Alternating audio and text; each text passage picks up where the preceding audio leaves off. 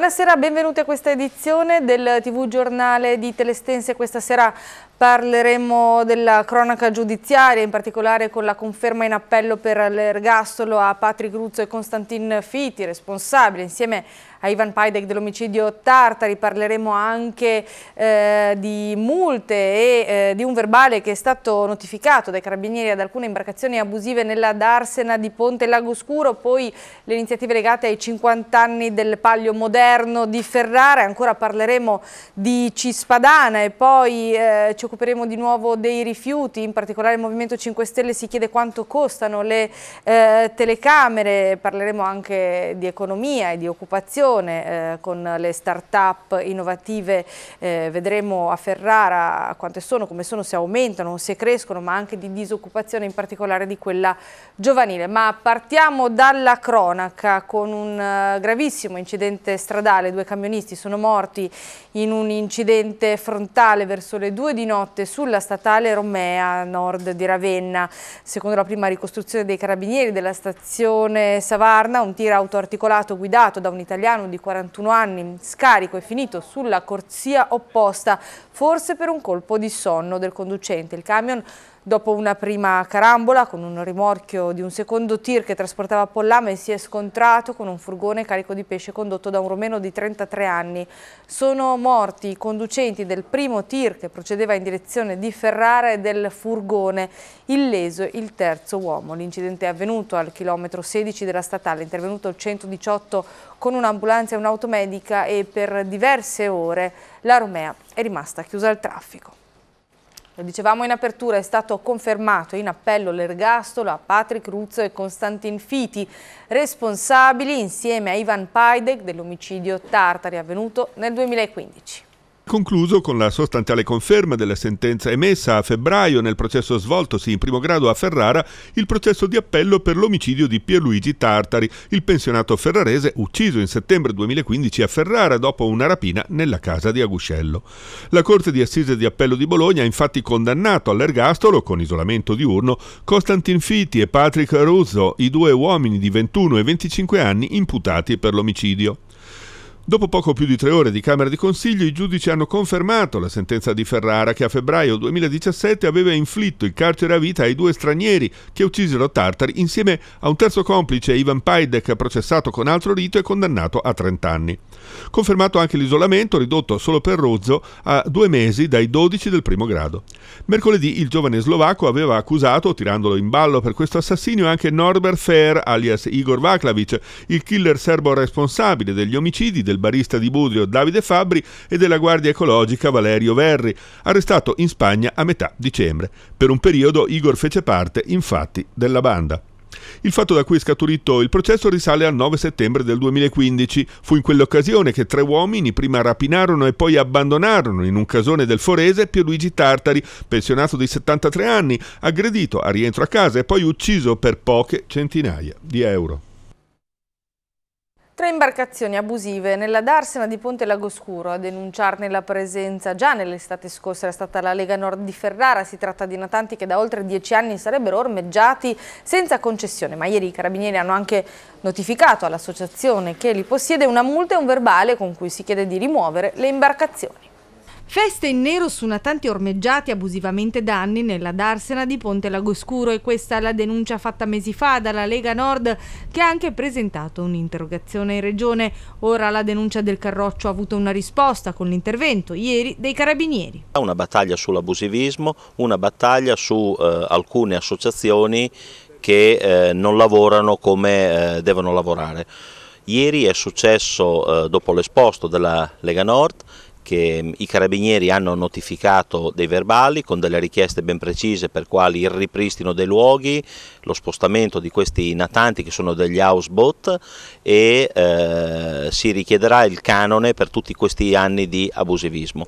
Qua parliamo di dieci anni di abusivismo, la Lega lo aveva denunciato, lo ha esposto anche all'assessore regionale nel quale ci ha confermato eh, con i documenti che ho esposto proprio poche settimane fa che questa è una zona eh, del demanio e questi natanti non devono essere in questa posizione, per cui ci aveva già confermato l'abusivismo.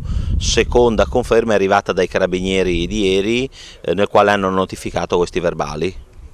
I carabinieri avrebbero anche multato l'associazione che possiede i natanti, per la quale però potrebbero esserci nuovi guai, visto che i militanti della Lega hanno denunciato anche affitti in nero della struttura. Noi abbiamo denunciato proprio poco fa con, con un video questa è una zona abbastanza nascosta con un accesso eh, solo attraverso delle chiavi che non hanno tutti, il titolare di questa attività ha le chiavi ed affitta in nero per attività eh, private. Noi stessi abbiamo affittato questa struttura per 100 euro, l'abbiamo documentato per cui chiederemo anche eh, alla Guardia di Finanza che si attivi in questo, in questo, senso. È un'associazione che ovviamente ha eh, avuto dei finanziamenti pubblici di svariate migliaia di euro dal comune di Ferrara per attività turistico-fluviale. E ora parliamo di Paglio perché è stato presentato oggi il programma delle celebrazioni del cinquantesimo anniversario del Paglio moderno di Ferrara. Una cena di gala in onore del Paglio e della sua storia a Palazzo Pendaglia, sede dell'Istituto Alberghiero Orio Vergani, il prossimo 28 aprile. Poi il 12 e 13 maggio gli antichi giochi delle bandiere estensi e dal 19 le tappe tra corteo delle contrade, benedizioni dei ceri e molto altro che portano alle corse del Paglio previste per domenica 25 maggio.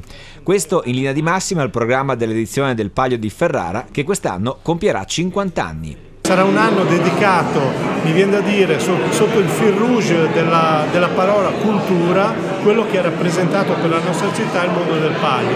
Quindi eh, mostre fotografiche, mostre rievocative di tutto quello che è stato il percorso che questa associazione ha saputo compiere per la città, eh, filmati dagli anni 60 fino a, a quel percorso che ci porta ai giorni nostri. Le gare del Paglio affondano, come si sa, le proprie radici nell'antica storia di Ferrara. Il primo Paglio di cui si abbia notizia risale al 1259.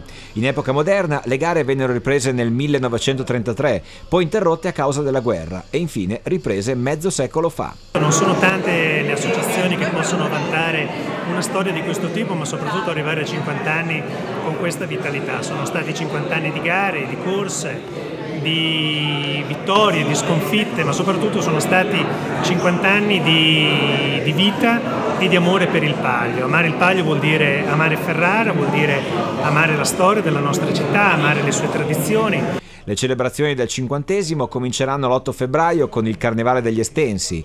In maschera nella Ferrara del Rinascimento un ciclo di iniziative molto intenso che proseguirà sino a domenica 11 febbraio, mentre tra ottobre e dicembre sarà allestito un percorso espositivo dedicato alla storia dei primi 50 anni del Palio moderno.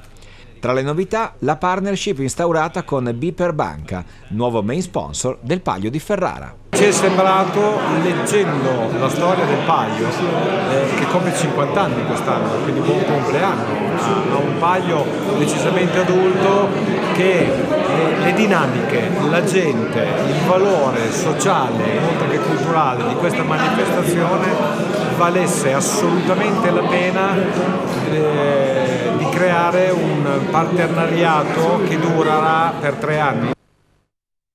Ferrara non è più un'isola felice, sempre più fatti lo testimoniano da città in prima fila per qualità della vita, coesione sociale e benessere dei cittadini. Oggi appare sempre più degradata e abbandonata. È questa la tesi da cui è partito l'incontro pubblico che si è svolto ieri sera a Ferrara, organizzato dal Movimento 5 Stelle con la presenza dei deputati Vito Crimi e Vittorio Ferraresi. Nonostante i tentativi di questa amministrazione di snocciolare dati positivi sulla criminalità, spiega in una nota Vittorio Ferraresi, la sensazione di impunità e insicurezza è palpabile nell'aria. La verità è che molti cittadini di tutte le età, in particolare anziani e donne sole, ormai convivono con la paura di uscire di sera, soprattutto se soli e, ha concluso il deputato, hanno ragione. E ancora botta e risposta tra Movimento 5 Stelle e Regione Emilia-Romagna dopo la lettera arrivata dalla Commissione per le petizioni del Parlamento europeo sul Cispadana. Vediamo perché. Con l'autostrada regionale Cispadana non andiamo nella giusta direzione, lo sosteniamo da sempre e ora anche la Commissione del Parlamento europeo lo certifica non utilizzano giri di parole i due deputati del Movimento 5 Stelle, Michele Dell'Orco e Vittorio Ferraresi, a proposito della lettera che Cecilia Wickstrom, presidente della Commissione del Parlamento europeo per le petizioni, ha inviato alla Regione Emilia-Romagna, accogliendo le osservazioni presentate da alcuni cittadini modenesi preoccupati dell'impatto economico e ambientale dell'opera. La Commissione, continuano i due parlamentari, nella sua valutazione parla di possibili danni irreversibili alla salute dei cittadini e all'ambiente, condivide gli allarmi sulla qualità dell'aria e ridicolizza la compatibilità ambientale rilasciata con oltre 200 prescrizioni. La Cispadana ha tutte le carte in regola ed è stata progettata per decongestionare la viabilità e per permettere un migliore collegamento dell'Emilia-Romagna con il nord Europa ed è sostenibile dal punto di vista ambientale per la qualità dell'aria e dell'ecosistema. Sono questi invece i punti principali contenuti nella lettera che la Regione Emilia-Romagna sta predisponendo in queste ore per dare una risposta alle osservazioni della Wickstrom. L'infrastruttura è infatti una delle priorità strategiche della regione, tanto che Viale Aldo Moro l'ha finanziata con oltre 179 milioni di euro. Siamo a favore di un'infrastruttura leggera al servizio del territorio, ma non di un'autostrada a pagamento al servizio delle lobby, puntualizzano i deputati del Movimento 5 Stelle. I problemi di viabilità e di competitività, dichiarano i pentastellati, non si risolvono costruendo una nuova autostrada che serve solo a portare clienti sulla A22 del Brennero. L'obiettivo di ridurre la popolazione esposta a concentrazioni di polveri superiori al valore limite giornaliero dal 64% all'1% entro il 2020 2020 è contenuto nel piano aria approvato nel 2017, sottolineano gli assessori regionali Raffaele Donini alle infrastrutture e Paola Gazzolo all'ambiente. La Regione, che sta attendendo l'adeguamento del progetto definitivo sulla base delle prescrizioni via e la proposta di piano economico-finanziario dell'opera, ha comunque ribadito con forza il proprio impegno per realizzare la Cispadana, che, continua Viale Aldomoro, proseguirà con determinazione per tutto il mandato. Ci spostiamo nel basso ferrarese, i sindacati ferraresi sono fortemente preoccupati per la sorte che avranno i servizi sociali del comune di Yolanda di Savoia dopo la decisione dell'amministrazione di uscire dall'Unione Terre Fiumi. I segretari di CGL Cisle Will, Cristiano Zagatti, Paolo Baiamonte e Massimo Zanirato hanno incontrato il sindaco di Yolanda Elisa Trombin per capire quale modello organizzativo verrà adottato per la gestione di questa macchina complessa che ha il compito di tutelare le fasce più deboli della popolazione. Un incontro largamente insoddisfacente, privo di contenuti concreti, scrivono i, i rappresentanti sindacali in una nota. Manca un'accurata pianificazione del settore. Stiamo valutando la possibilità di scrivere formalmente al prefetto quanto ci costano le telecamere che verranno posizionate accanto ai cassonetti per scongiurare il fenomeno sempre più frequente degli abbandoni di rifiuti? Vediamo. Quanto costeranno le fotocamere che saranno installate nei cassonetti per la raccolta dei rifiuti indifferenziati? E questa è la domanda che pone un'interrogazione presentata al sindaco con un'interpellanza in Consiglio Comunale a Ferrara dal Movimento 5 Stelle. Le fotocamere dovrebbero prevenire il fenomeno dell'abbandono dei rifiuti accanto ai cassonetti che è effettivamente aumentato in città da quando è stato adottato il sistema delle calotte per misurare la effettiva quantità di rifiuto conferito da ciascun nucleo familiare. Il Movimento 5 Stelle chiede quanto costerà il sistema in termini di installazione e manutenzione e a chi sarà affidato. Intanto il comitato Mi Rifiuto, nato nel 2017 proprio sull'onda delle polemiche legate all'installazione delle cosiddette calotte, ha chiesto formalmente all'assessore Caterina Ferri di far parte dell'Osservatorio Rifiuti. L'Osservatorio Rifiuti è un gruppo di monitoraggio dedicato al nuovo sistema di raccolta, la cui istituzione è stata proposta dal CNA e accolta dal Comune. In sostanza l'Osservatorio dovrebbe individuare le criticità che andranno via via manifestandosi con l'introduzione del nuovo sistema di raccolta rifiuti e avanzare proposte per risolverle. I cittadini del comitato Mi Rifiuto, si legge in una nota, devono essere partecipi del processo di controllo e di proposta che l'osservatorio andrà ad assumere. Per questo chiedono un riscontro positivo della pubblica amministrazione e il sostegno via Facebook dei cittadini ferraresi. E ora parliamo di disoccupazione, in particolare di quella dei giovani tra i 15 e i 24 anni. Giuliano Guglietti, presidente IRES Emilia Romagna ed ex segretario provinciale della CGL di Ferrara, ha fatto il punto sulla situazione in regione, sottolineando come la provincia di Ferrara sia quella in cui il dato è più preoccupante. Mentre gli altri lavoratori, quelli adulti, aumentano, i giovani occupati restano il problema principale del mercato del lavoro in Emilia-Romagna, oltre ad una precarietà generale ancora troppo diffusa. Lo certifica la CGL regionale che oggi fa le pulce alla crescita evidenziandone contraddizioni e squilibri, ad esempio tra i territori. Si allarga il solco tra i primi e gli ultimi, come a Ferrara. Il ritratto che ne esce è un quadro a luci e ombre comunque distante nei toni da quello dipinto anche dal report economico di fine anno, nel quale spiccava un PIL emiliano-romagnolo pronto in prospettiva a superare quello del Veneto. In un contesto per l'Emilia-Romagna oggi di PIL salito al più 1,7% e disoccupazione scesa al 5,9%, la luce rossa si accende quindi osservando il trend per la fascia 15-34 anni a confronto con quello di 10 anni prima il tasso di occupazione specifico cala dal 64,7% del 2007 al 50,5% nel 2016. Si tratta di oltre 14 punti percentuali in meno per l'Emilia Romagna, contro gli 11 a livello nazionale, evidenzia l'Istituto di ricerche della CGL, l'IRES, sulla base dei dati Istat ed Eurostat. A commentare i dati oggi è proprio il presidente regionale di IRES, Giuliano Guglietti, precisando precisando che si tratta di valori distanti dalle medie europee. Fatta 100 la popolazione, abbiamo eh, 14 persone in meno occupate dentro eh, questa fascia d'età. Eh, vuol dire che eh, la stessa cosa non è accaduta per eh, le altre fasce di popolazione, anzi abbiamo avuto nelle fasce d'età più alte un aumento del tasso di occupazione. Quindi vuol dire che c'è eh, una parte eh, di popolazione in questa fascia d'età che eh, ha un problema drammatico di, di, di, di accesso, di entrata nel mercato del lavoro.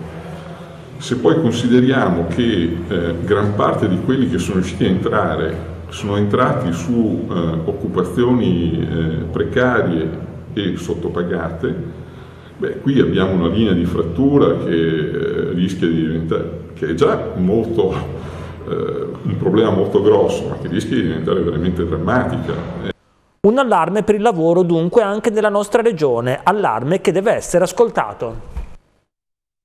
Parliamo ora invece di start-up innovative. A Ferrara aumentano di numero ma non crescono di dimensioni, lo dicono i dati dell'Osservatorio Provinciale della Camera di Commercio.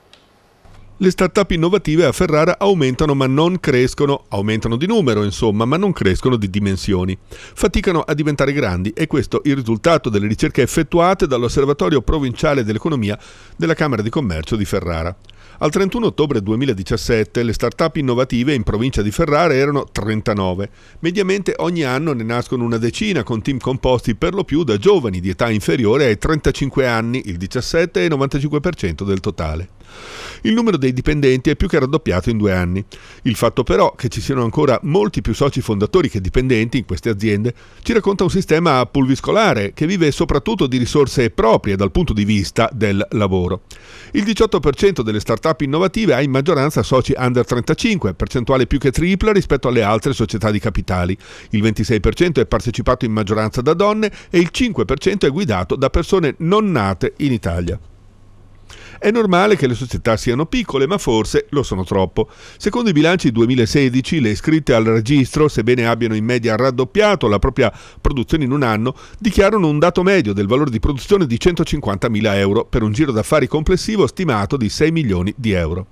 Le start-up, sottolinea la Camera di Commercio, sono spesso poco più di un'idea che però, sotto la tutela del registro speciale, ha il tempo di consolidarsi e infatti tra le iscritte del 2013 nessuna di esse è fallita.